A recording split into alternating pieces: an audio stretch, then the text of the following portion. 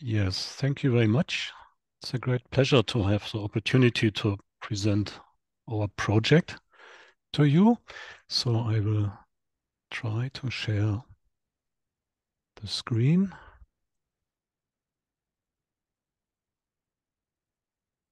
So hopefully you can see the presentation.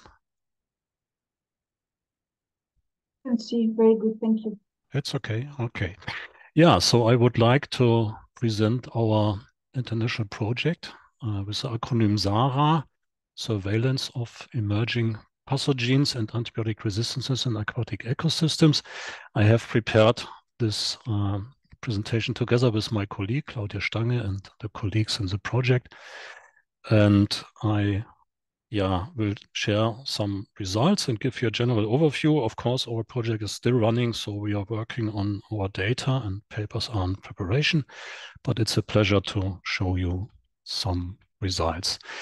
The key objectives of our projects are listed here. So we started our project uh, during the Corona pandemic when we had many restrictions. So one of our objectives was to check the suitability of SARS-CoV-2 detection in wastewater as an early warning tool. Um, I will show you some data. Then we did method harmonization for the cultivation methods for indicators antimicrobial resistance and nucleic acid extractions in order to be sure to make sure that we really can compare our data yeah so that we use harmonized methods and then we focused on a better understanding of the occurrence of fate of enteric viruses, antibiotic resistances, and microbial source tracking markers in the aquatic environment. We had a look at the role of sediment and bivalves as an integral monitoring element and as reservoirs for the pathogens. And we had uh, sampling during extreme weather events. Uh, I will show you some data. We are still working on summarizing everything to do a risk assessment and to develop monitoring recommendations. And of course, we work on the papers to be published. The structure of the project is also shown here. So we have the different work packages focusing on different types of pathogens. And I will follow this order and present you the concept and the data. Um, our consortium is uh, consisting of eight partners representing different climate areas. I start in the north, so we have partners from Sweden, then our group in Germany, a group in France, in Spain and Portugal. We have partner from Israel who's also attending the presentation today. We have two partners from Africa, Uganda, more in the central part of Africa, and Mozambique, more in the south of Africa. And so we can compare the surveillance data from different climate zones and under different conditions. So this is a general idea. And because we have so many different partners, it was very important to harmonize the methods in the beginning to really can compare our results. Um, our sampling points are illustrated here. So we have taken a lot of samples from surface water, different rivers, from wastewater treatment plants, influent, effluent. We have taken some samples from hospital wastewater. We also looked at sediments and bivalves. Um, our parameters are listed here. So E. coli is a general fecal indicator then we looked at ESBL bacteria, antibiotic resistance bacteria, a method very oft, uh, often used for cultivation. We looked at the antibiotic resistant genes. Then at the viruses, indicator viruses, somatic and F-specific coliphages, also cresphage as a human marker, and as pathogenic viruses, such as coronavirus, adenovirus, norovirus, hepatitis, and enterovirus we are interested to understand what are the sources sorry, of our pollution. So we looked at microbial source tracking markers. And uh, one of our partners, a group in France, uh, applied metagenomics to have uh, more insight into the antibiotic resistant genes in particular. So I start with um, the SARS SARS-CoV-2 monitoring. Um, here the principle is shown. Um, 24 hours composite samples are taken from the wastewater treatment plant influence or from the sewage system in general. Then the biomarkers are enriched, the nucleic acids are extracted, and then after reverse transcriptase, quantitative PCR can be done. And then we can see the trends in the infection um, rates, if it's increasing or decreasing, or we can have a look if we have in particular high numbers in specific um, parts of the community. Um, and this is the more detailed method um, illustrated here for the method we are applying in our institute. So the wastewater samples are taken from the influent of the treatment plant here in Karlsruhe. Then we do a centrifugation to separate the solids, followed by polyethylene glycol flocculation. Then the extraction is done automatically. And then we do a one-step digital droplet PCR focusing on three different genes that we have reliable data. So we should see the similar trends for the different genes. And so we can follow the trends um, in terms of the copy numbers of the uh, SARS-CoV-2 nucleic acids. The results are then reported and are shown uh, for yeah, on the homepage of our municipality here in Karlsruhe, so everyone can have a look. And the data also are collected for whole Germany and um, then can be um, are shown also at the homepage. And you can see the curve here. We started early um, already in the summer of 2020. So we have a very long uh, curve. You can see it here. The wastewater data are shown in blue and uh, seven days incidence from individual testing in red. Uh, and so you can see over time a good correlation of the trends yeah, of the data.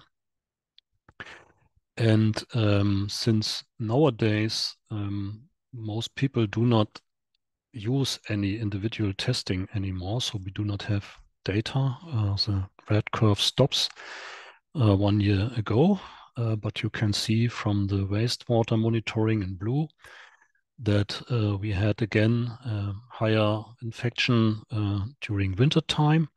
Then it was decreasing, and at present, um, yeah, it's a little bit increasing again. And we know that um, yeah, many people are still have infections due due to corona. But this illustrates that wastewater monitoring is very useful to follow infection trends in the population. And uh, nowadays it's accepted and uh, it's also considered for other pathogens to follow the infection trends by using wastewater-based epidemiology yeah, as a monitoring tool. Um, here are some data from our colleagues in Barcelona. Um, looks very similar. Here you also can see the different uh, variants uh, during the pandemic. Uh, again, we have a good correlation of the data in the wastewater monitoring and the data by individual testing. Uh, it's similar in Spain. Uh, cases reports uh, ended then, and now um, yeah, we rely on the wastewater monitoring.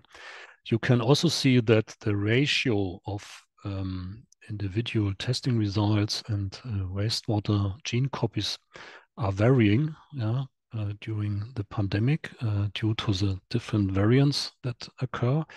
So it's very difficult to calculate absolute numbers from wastewater monitoring, but what you can clearly see are the trends, and therefore it's very useful to do this monitoring. Um, our colleagues in uh, Spain, they also have taken samples from uh, surface water. We also have done it here in Germany. Uh, usually we do not see any uh, gene copies of SARS-CoV-2 in surface water. Uh, doing some sampling, they did find uh, some gene copies, but uh, not very often. Um, and it's very important to note that uh, this is only um, these are only the nucleic acids. These are not infectious coronaviruses. Yeah? So we still, can still see the nucleic acids as a markers, but um, it's not uh, infection uh, transmission due to wastewater or surface water. Okay, then I come to the part of method harmonization. Um, in the beginning of the project, we discussed uh, the different methods and then we agreed to use uh, cultivation methods for E. coli, ESBL producing E. coli, somatic coliphages, F-specific coliphages. Uh, these are standardized already and we agreed on specific methods for the isolation, extraction of bacterial DNA and viral DNA and RNA. So all the partners do this extraction and in the next step, the nucleic acids can be sent to the specific partner laboratories that are specialized in the specific parameters. And there, um, the parameters listed in green, uh, adenoviruses, noroviruses, hepatitis, enteroviruses, microbial source tracking markers, antibiotic resistant genes and metagenomics are done and it is easy to exchange the nucleic acids. It also can be stored. And so we really have comparable data. The analysis and the responsibilities are uh, illustrated here. So you can see that all the partners are doing the cultivation test and the sampling and extraction. And then we have the specific laboratories that do the analysis of the specific parameters for all the samples from the different partners and countries. The uh, methods are shown here, cultivation methods according to standardized um, procedures and the processing of the samples for subsequent PCR analysis is done by um, the kits that are listed here. And then we can do the storage and the shipment of the nucleic acids and then the specific analysis. Um, we have summarized these methods uh, in a booklet um, on the harmonized method. This is also available on our project website. So if you're interested, you can download um, this booklet on yeah from our homepage. Uh, you can have the access here. It's given. Um, and so um, I think this is a good start if you think about harmonization of methods. You can probably um, yeah, benefit from the experiences we have in our project. Um, in the beginning, it was also very important to do a training of our partners from Africa because the labs and the procedures were not um, established um, in the beginning. So we had uh, several visits. Uh, we did the training together with our partners from Uganda here in our institute and also our colleagues from Portugal. Uh, were in contact with the colleagues from uh, Mozambique. And so we could establish the laboratories and the extraction methods. Um, this has taken more time than we expected in the beginning. So it's not so easy to, to purchase these um, instruments in Africa, and it's also not so easy to to get the consumables. So this might be something you have to consider if you want to do analysis in that region. But uh, we managed to do that, and so we also have some data from Uganda and Mozambique. So I start with some uh, data for the viruses. Um, this is an example for the data uh, for the Tagus River catchment in Portugal. So you can see the data for uh, total coliform bacteria for comparison purposes and E. coli, and then somatic bacteriophages and F-specific bacteriophages as indicator um, viruses. And, and, samples were taken from the wastewater treatment plant influent, secondary effluent, effluent, and the surface water upstream and downstream.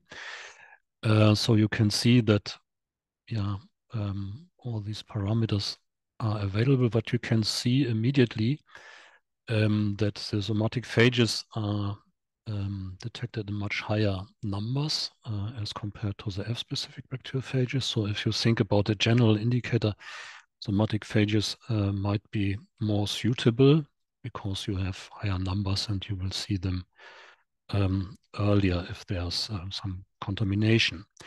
Um, the next slide shows the same data on the left I just have shown, and then the pathogenic viruses detected by quantitative PCR. Uh, for adenovirus, enterovirus, and noroviruses, you can see that all these pathogens are detected um, in the samples. Um, this is what we expect for the wastewater, but they also are, can be detected in the surface waters. Um, so um, all of them um, have been detected, but we do not see a clear correlation with the uh, indicator viruses, the bacteriophages. Yeah? So if you're interested in pathogens, uh, you always um, have to check them, but you can have um, yeah, a first um, idea if you might have a contamination by using the indicator viruses. Um, some data from our colleagues in Sweden, the Swedish Food Agency. They are specialists for norovirus uh, detection, and they have done the genotyping. Um, here, samples are compared uh, for Sweden, Germany, and France, and the results were quite similar. Um, the same genotypes uh, for genotype 1 and 2 were detected um, in these samples from Europe. Um, but what was uh, very obvious is that we have a different genotype if we look at the samples from Uganda shown here. Yeah, here we have a, uh, for genotype 213, we have a lot of uh, viruses belonging to this genotype. This was dominant um, in the samples from Uganda, and it was almost not observed in the European sample. So you can see really have a difference um, according to the region where you do the sampling. And uh, yeah, this was quite obvious for the samples from Uganda very interesting. So then I continue showing some data for antimicrobial resistance. Um, here we have uh, done the analysis um, for the ESBL uh, bacteria, um, extended spectrum beta lactamase producing bacteria. Uh, this method, what we usually apply is um, comparable to the method that is also used for clinical analysis. This means we have um, a medium with um, a high amount of organic compounds, so for eutrophic bacteria. Uh, I come back later to this point. And we also looked at antibiotic resistant genes uh, by performing quantitative real-time PCR and looking at the metagenome sequencing. Um, we have taken samples from the wastewater treatment plants. Uh, this is an example for the German wastewater treatment plant, where we have taken samples from the influent and the effluent, and then we have taken samples from the receiving water, the River Alp, um, upstream and downstream. And then we have the larger River Rhine, where we additionally have taken samples. And the results are then shown here for the wastewater treatment plant influent, effluent, uh, surface water upstream and downstream. And um, you can see, of course, we have higher numbers in the in the influent. Um, this is similar for all the different uh, sampling areas. So shown here from the left to the right, uh, corresponding to the north, starting with Sweden to the south, Mozambique. Uh, a lot of data, um, and there are, uh, of course, differences in the um, prevalence and relative abundance. I will show you more data in the next slides, yeah, more comprehensive data. Um, in the beginning, we also had to select some uh, key antibiotic resistant genes for the monitoring because uh, there's, uh, of course, a very, very large number of different uh, genes. So we have uh, done some uh, first analysis, also metagenomic analysis. Then we looked um, at the occurrence of the different genes in different samples, and then we decided to um, to focus on uh, genes um, that are frequently detected at high concentration, shown here in red, um, corresponding to sulfonamide uh, resistance or beta-lactam resistance or tetracycline resistance.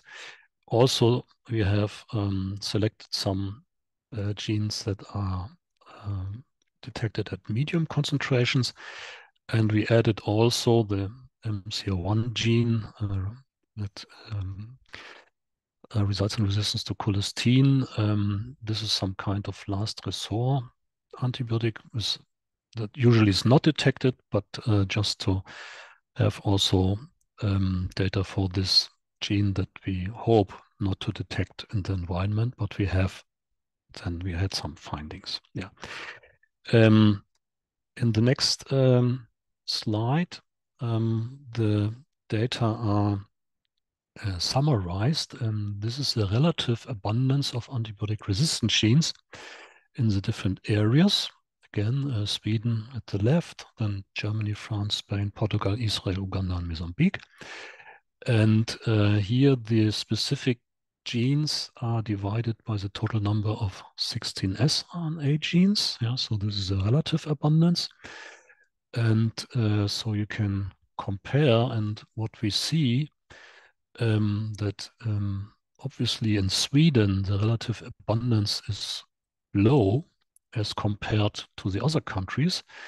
And in particular for Uganda, for example, we have a high abundance of antibiotic resistance genes. Um, so uh, in general, in Sweden, antibiotic resistance genes seem to be um, less critical.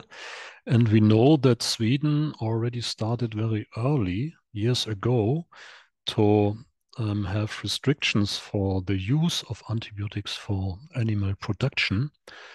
Uh, this seems to be a successful strategy because now we see lower um, abundance of antibiotic resistant genes in the aquatic samples from Sweden. And we have uh, particular high abundance um, in the samples from Uganda, where we do not have any restrictions. So you can buy antibiotics as you like. Um, so this um, definitely seems to make a difference. And this was yeah, something interested in the beginning. I, I didn't expect that because I thought antibiotics might be very expensive to purchase in Uganda, but um, yeah, we see very high numbers. I would like to show you some data um, for the different treatments. Um, here are shown for Germany, uh, on here on the top, uh, the data for E. coli and ESBL bacteria in the influent and effluent of the wastewater treatment plant and also data for Uganda. And you can see that the reduction uh, in Germany is uh, much more pronounced. Uh, it's about four to five log uh, decrease, and in Uganda we have about two to three. Um, we have different um, treatments. In, in, Germany, the wastewater treatment plant, we start with mechanical part, and then we have two steps biological treatment and uh, since a few years additionally activated carbon, but I don't think that this is so important. But we have a more um, um, more efficient uh, treatment of the wastewater. Um, in Uganda, there is a wastewater stabilization pond, uh, and the removal is not so efficient.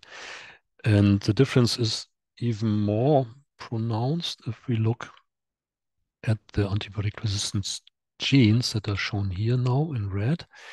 Uh, we have uh, four different genes. You can see in Germany, uh, the top row, we have um, a reduction between one and three log.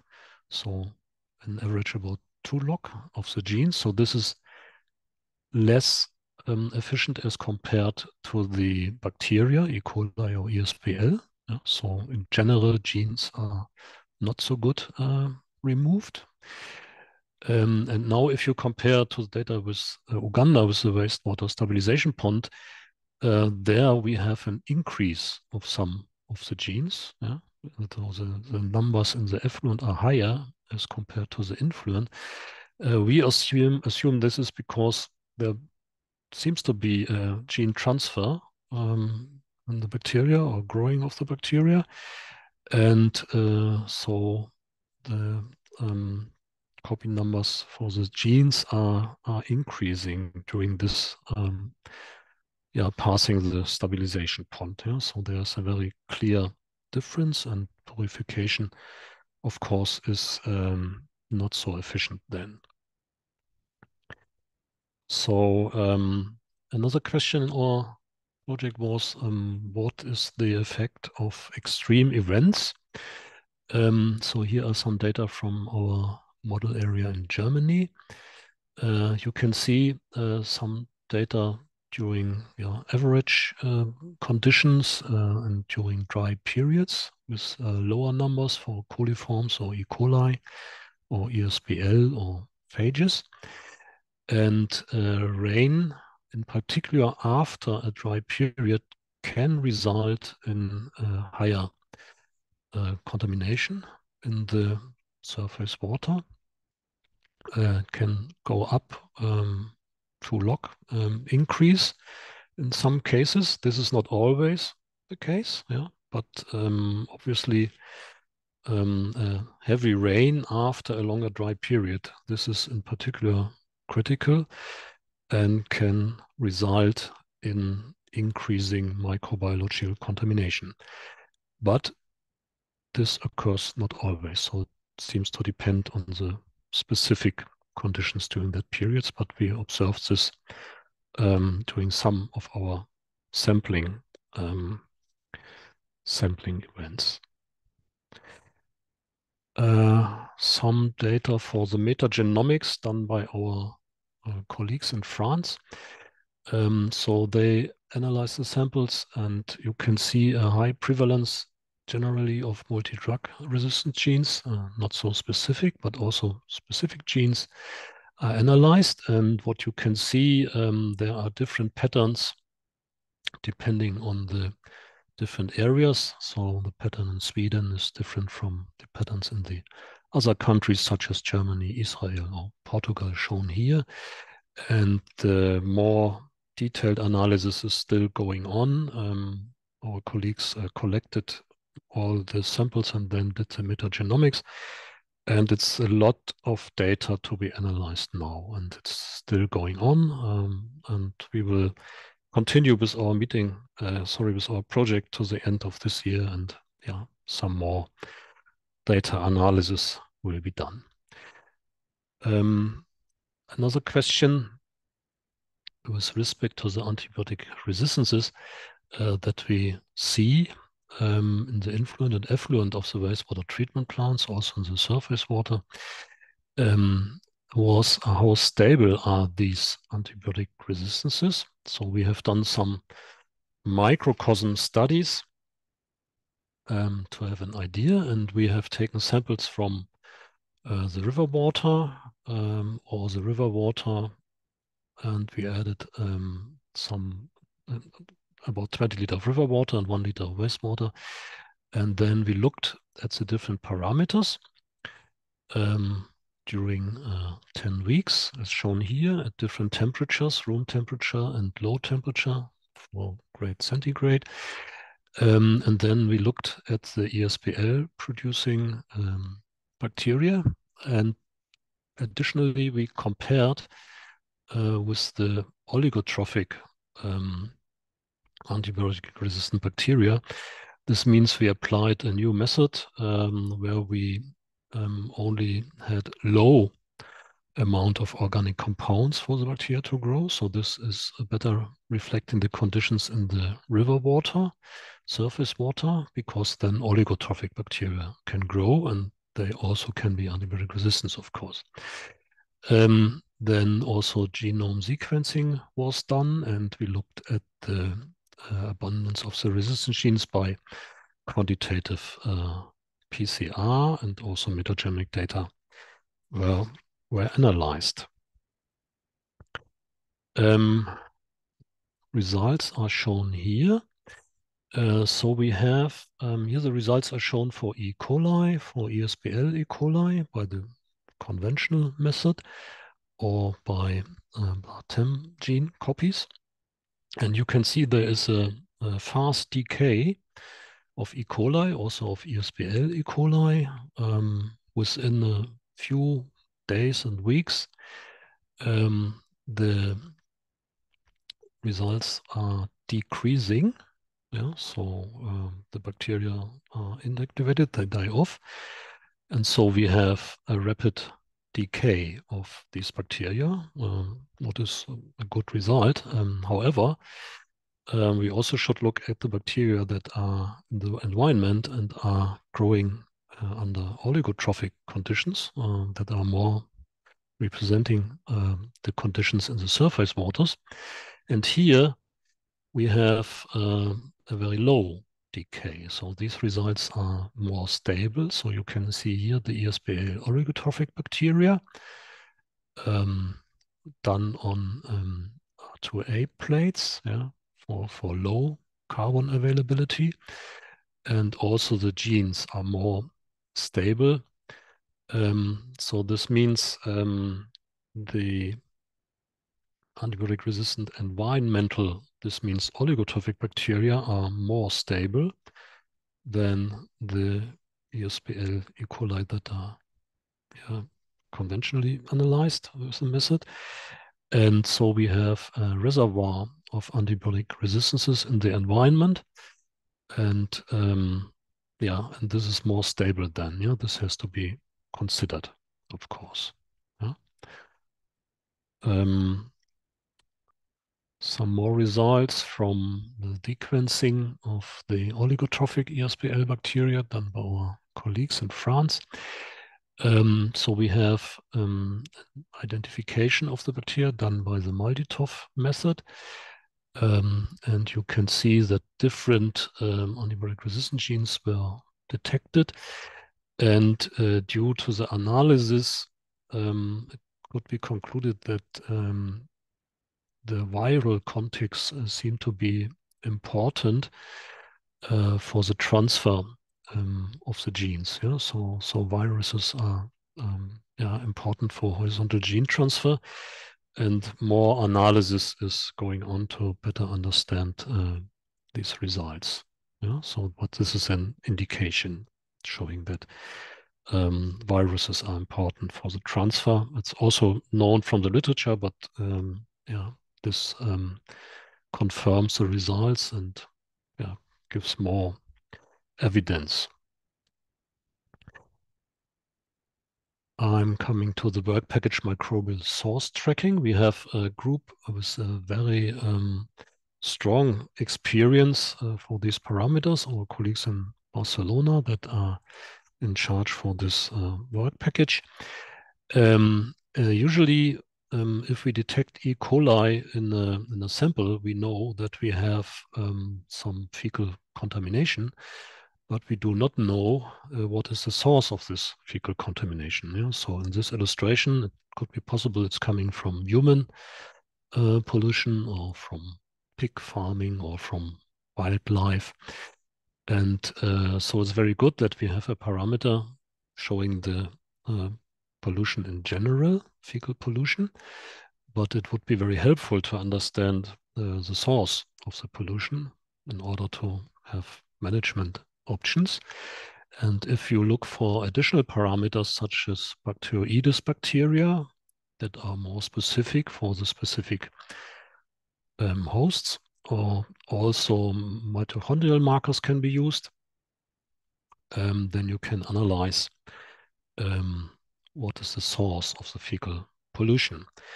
And we were interested um, to understand um, if we can apply the different um, methods that are available for detecting human uh, sources as pollution.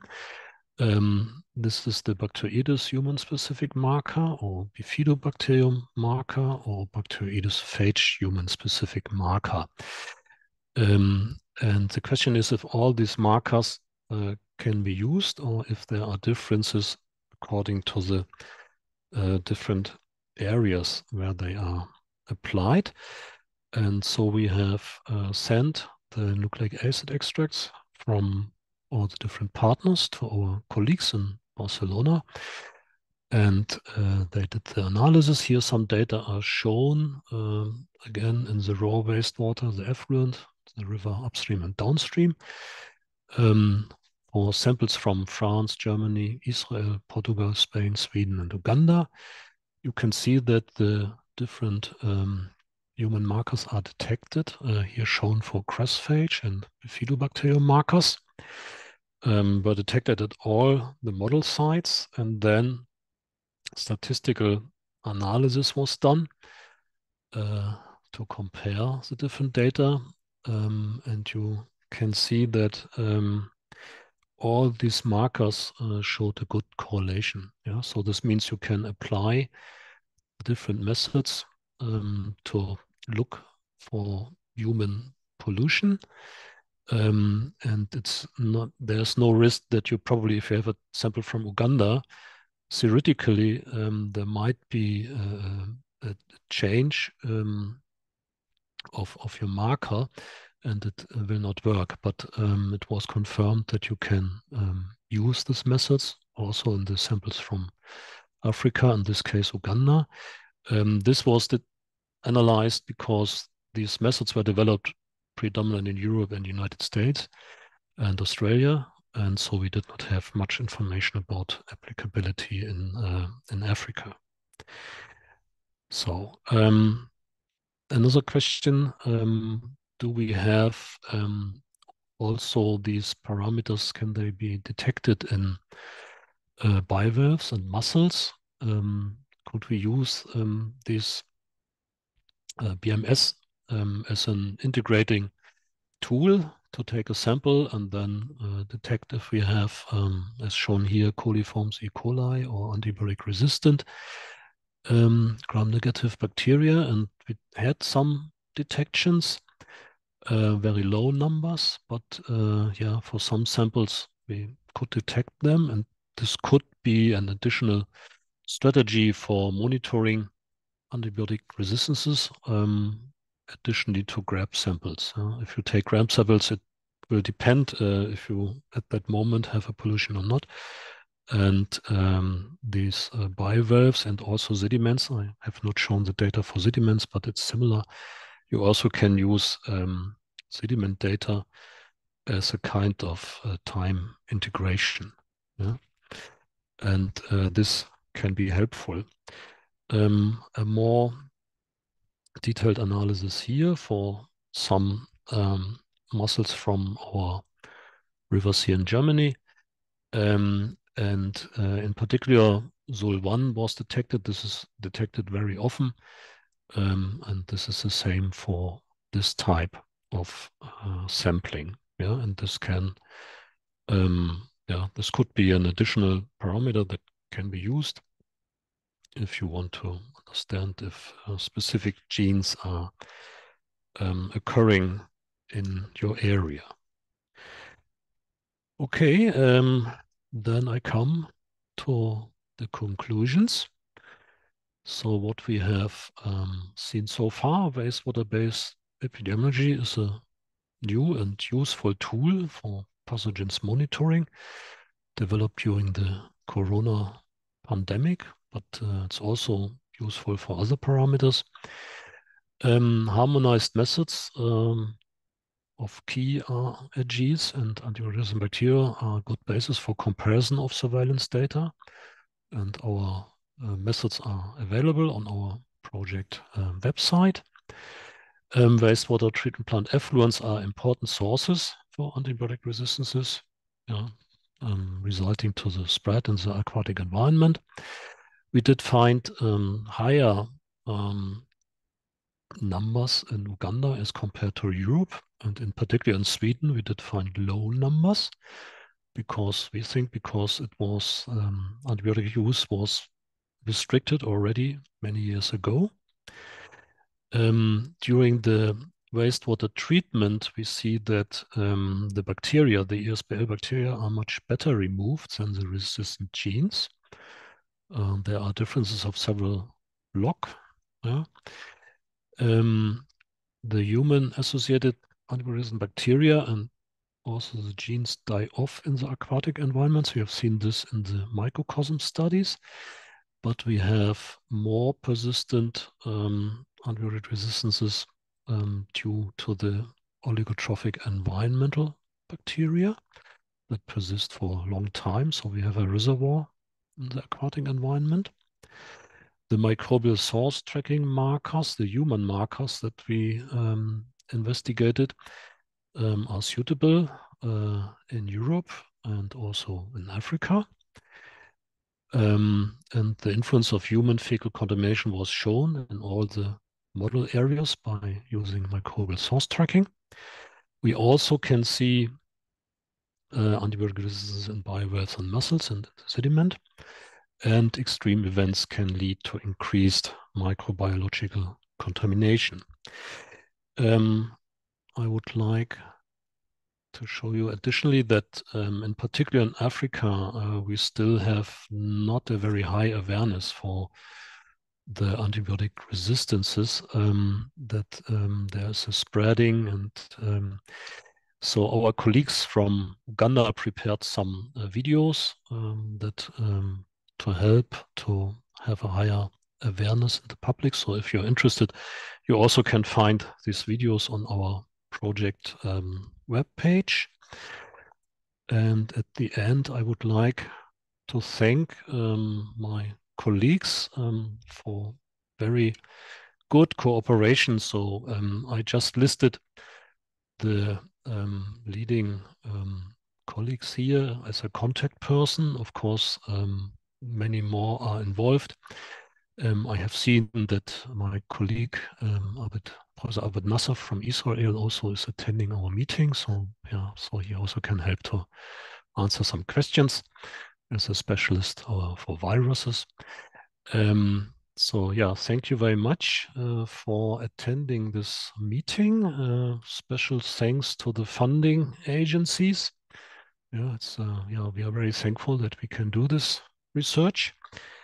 And then I'm looking forward to the questions. Thank you very much. Thank you very much for this very interesting and very important uh, issue. I would like to open um, for discussion. If anyone have any question, please raise your hand. Just suggest also to open um, uh, the camera so it will be uh, much nicer to talk. I'm going to stop the uh, the recording right now, so it's okay to to open uh,